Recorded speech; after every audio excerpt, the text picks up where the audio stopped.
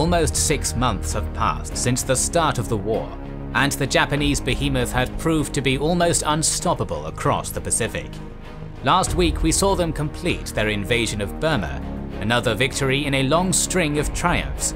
Yet we also saw there a huge participation by one of the most forgotten allies of World War II, nationalist China. Today we're going to see a war resume in the Chinese mainland as the Japanese prepare for a new offensive in retaliation for their participation in the Doolittle raid. And while we witness this struggle, why not rest assured that you have some land out there that's perfectly safe?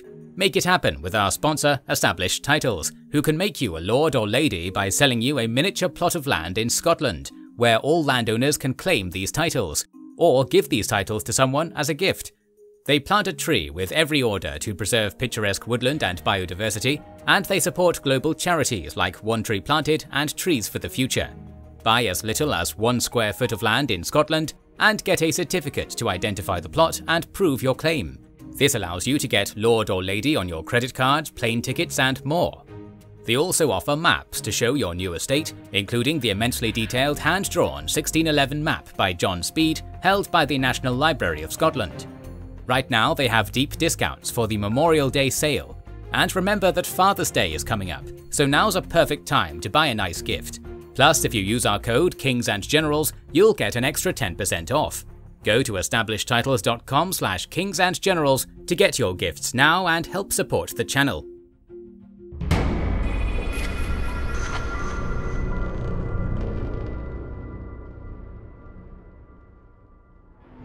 Since the outbreak of war with the Empire of Japan in 1937, the Chinese defenders had proved to be a resilient and fierce foe, one that had continued to resist even when the prospects of outside assistance seemed hopeless. In the past, both China and Japan had been looked down upon by their Western allies, something that gave rise to the same Japanese anti-Western sentiment that ignited the Pacific War. Now, Chiang Kai-shek had the perfect opportunity to be treated as an equal by the Allies, yet the price he would pay for this would be heavy. The road was long for the Chinese in their effort to get recognized as the valuable and important ally that they were, but already their contributions to the Burma campaign and the Doolittle raid had a tremendous significance for the future of the Pacific War, both allowing the Burma army to survive to fight another day and allowing the US to carry out one of the most important raids of the war, a huge morale booster that put the Japanese Empire on a course towards their eventual defeat. The aftermath of this last event, however, would also see the start of a Japanese campaign in retaliation against the Chinese inhabitants that had aided or given shelter to the American pilots after their surprise attack against Tokyo. As we will recall, 15 B-25 bombers had crash-landed in the provinces of Zhejiang and Jiangxi due to bad weather and the failure to warn the Chinese about incoming landings, their surviving crews then being rescued by local inhabitants, guerrillas, or missionaries. One of the most important effects of the Doolittle raid was that it was a shock for the Japanese commanders, who didn't believe the Allies had the capacity to launch such an assault. With their failure to correctly protect the Emperor, many resources would then be redirected for the defense of the home islands, and steps would be taken to prevent a similar attack in the future. As such, the Chinese airports in Zhejiang and Jiangxi were revealed as a dangerous blind spot in the defense of the homeland, from where American aircraft could directly attack Japan. A campaign was thus ordered to eliminate China as a bombing staging area, one in which the merciless Japanese soldiers would take the opportunity to also hunt for the bomber crews with the vengeful purpose of punishing them and those who had aided them. Back in early April, the Chinese 23rd and 32nd Army groups had managed to infiltrate into the Xuancheng Guangde area after pushing back the 13th Army of Lieutenant General Sawada Shigeru. In response, the Japanese were preparing to recapture this territory with a pincer movement by April 20th. But the new orders from Tokyo forced them to change the aim of their operation towards the destruction of the Chinese air bases in Zhejiang province.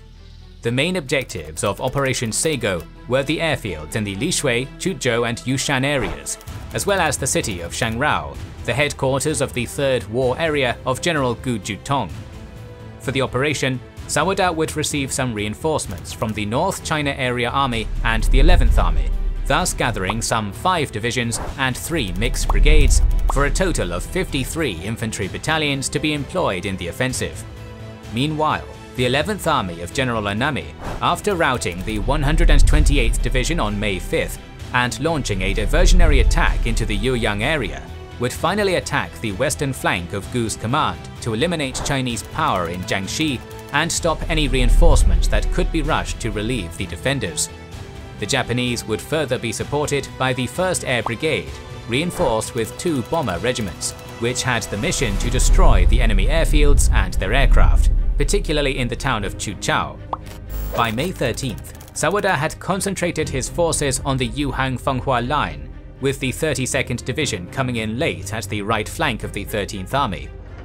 Two days later, the Japanese would decide to commence their initial offensive, directly advancing to destroy the Chinese fortified positions of Yiwu, Paitogen, and Changlezhen, while the 116th Division advanced along the Fuchun River, with the 32nd Division slowly coming in behind them. On May 18th, the first clash with the Chinese forces occurred, as the 22nd Division assaulted the fortified position of the new 9th Army east of Changlezhen the defenders tried to stop the Japanese advance with tenacity, but on the next day, the 70th Division and the Kono Mixed Brigade would arrive on the battlefield and would attack the flanks of the new 9th Army, thus forcing the Chinese forces to retreat in disarray. At the same time, the 15th Division also overcame a detachment of the 9th at Paitogen, leaving the way completely open for Yi Wu. Attacks against the city by the various divisions began immediately, and by May 22nd, the Japanese had consolidated their control over the sector east of Jinhua. Now, Sawada decided to shift his efforts towards the right flank of the army, where the 116th and 32nd Divisions were advancing into the area south of Jiande. They were to be supported by the 15th Division, which after taking Paitogen had turned west towards Lanxi.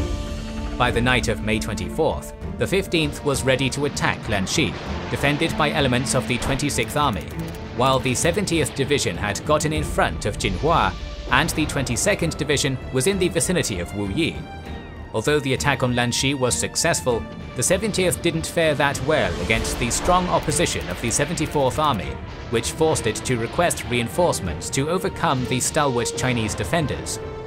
At this point, however, Chinese forces elsewhere were retreating without the intention of making any major resistance, so the Japanese started to hotly pursue them.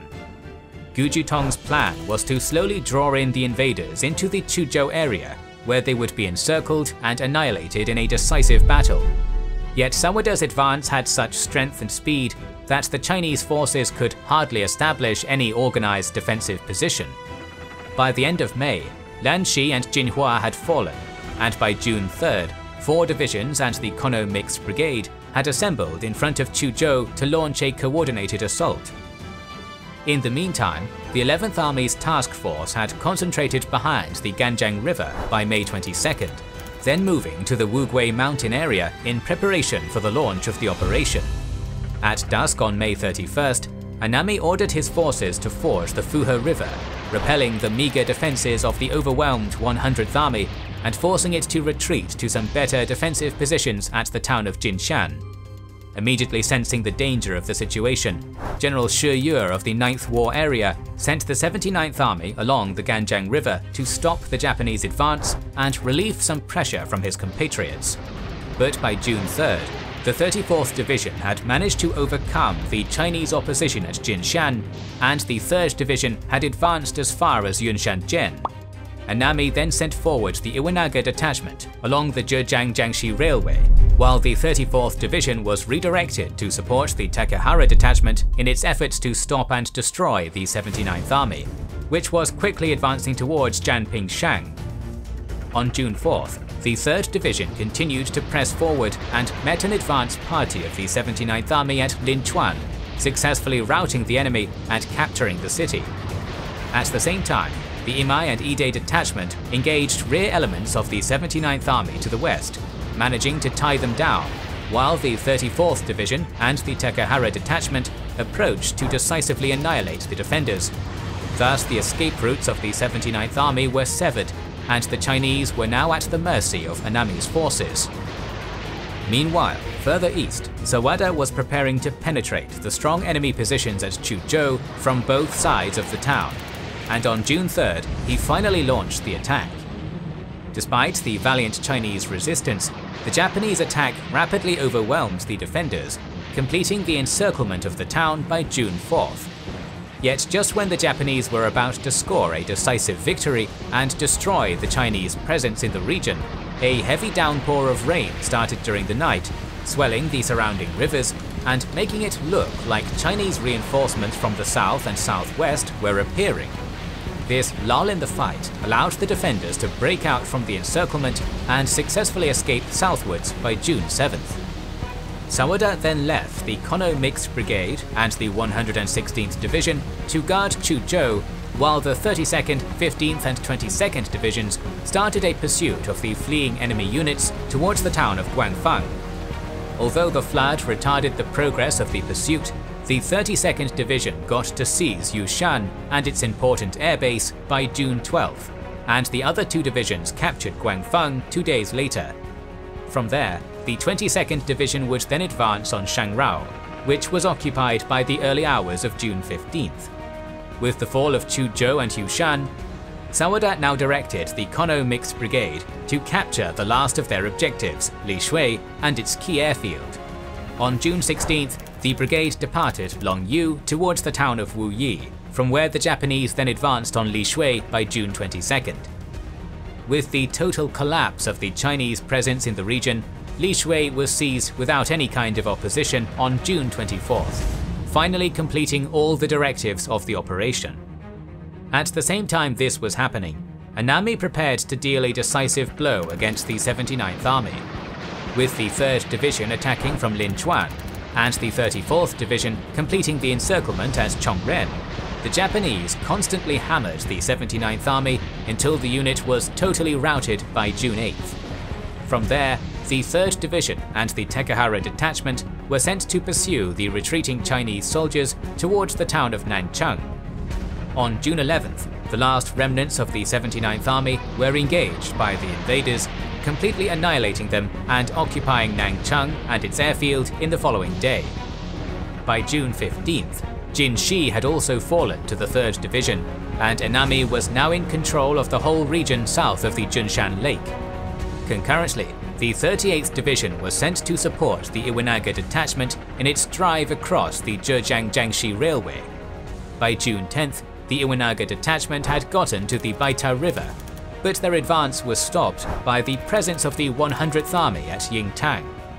On June 15th, when the 34th finally arrived in the region, the Japanese launched a strong attack that managed to send the Chinese defenders packing. The following day, the 34th Division occupied Chi, while the Iwanaga detachment continued eastwards to link with the 13th Army. On June 30th, Sawada also sent the Yazu detachment from the 22nd Division to advance westwards and link with the 11th Army. By July 1st, the Yazu and Iwanaga detachments met at Hangfeng and eliminated the last remnants of the 100th Army. This victory brought an end to the Japanese offensive in the Zhejiang and Jiangxi provinces but Japanese occupation of the recently conquered territories would continue in the following months. With their objective of reducing Chinese air power complete, the invaders now turned to hunt for the American pilots that had bailed in the region and to punish those Chinese villages that had aided them. In the words of Father Wendelin Dunker, they shot any man, woman, child, cow, hog, or just about anything that moved. They raped any woman from the ages of 10 to 65 and before burning the town, they thoroughly looted it. The city of Nanchang was hit particularly bad, with Japanese soldiers rounding up some 800 women and girls and herding them into a storehouse where they would be raped time and again in what American missionaries dubbed the Rape of Nanchang. But the invaders didn't only resort to raping and murdering, they were also set on devastating the land as much as possible towns and villages were looted, farm animals were slaughtered, crops were set on fire, and bridges, roads and airfields were completely destroyed. When the Japanese finally started their retreat in early August, they left behind nothing more than destruction and chaos. But it was those that had aided the Doolittle raiders that would suffer the most, as they would be subjected to sadistic tortures by the invaders before they met their demise. On one account, Japanese soldiers in Nanchang forced some Chinese men who had fed the American pilots to eat feces before lining them up for a bullet contest to see how many of them would be killed by a single bullet. In Chongqing, Chiang was completely infuriated about the consequences of aiding his so-called allies, who still continued to undervalue the might of the Chinese defenders. When the Zhejiang Jiangxi campaign was over, Chiang cabled to Washington to remark that the Japanese troops slaughtered every man, woman and child in those areas. Chinese estimates put the civilian death toll at 250,000 people, which is supported by the tales of American missionaries who witnessed the devastation wreaked by the Japanese soldiers. Once again, the Japanese Empire had shown to the world that they were ruthless and merciless invaders who were indeed capable of treating their fellow human beings as beasts. Thanks again to our sponsor, Established Titles. Buy a small plot of land in Scotland and become a lady or a lord, or give this title as an amazing and easy gift. In return, Established Titles plants a tree to protect the pristine forests of our planet. Hit the Memorial Day sale and pick up the perfect Father's Day gift, and use our discount code Kings and Generals at establishedtitles.com slash kingsandgenerals to get a further 10% off. Next week, we finally turn to Midway, where one of, if not the most, decisive engagement of the Pacific War was nearing fruition. From this point onwards, nothing would be the same. If you don't want to miss our coverage of this focal battle, make sure you are subscribed and have pressed the bell button to see it. Please consider liking, commenting and sharing, it helps immensely. Our videos would be impossible without our kind patrons and YouTube channel members, whose ranks you can join via the links in the description to know our schedule get early access to our videos, access our Discord, and much more. This is the Kings and Generals channel, and we will catch you on the next one.